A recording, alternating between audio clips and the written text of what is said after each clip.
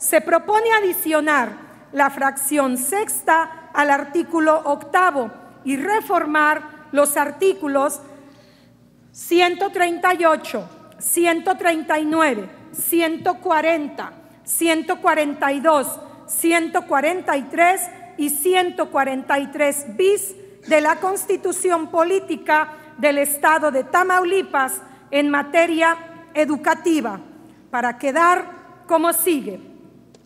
Artículo octavo. Queda en sus términos. Fracciones 1 a 5 quedan en sus términos. Fracción 6. Ser responsables de que sus hijas, hijos o pupilos menores de 18 años concurran a las escuelas del Estado para recibir la educación obligatoria, así como participar en su proceso educativo al revisar su progreso y desempeño, velando siempre por su bienestar y desarrollo. Artículo 138. Toda persona tiene derecho a la educación.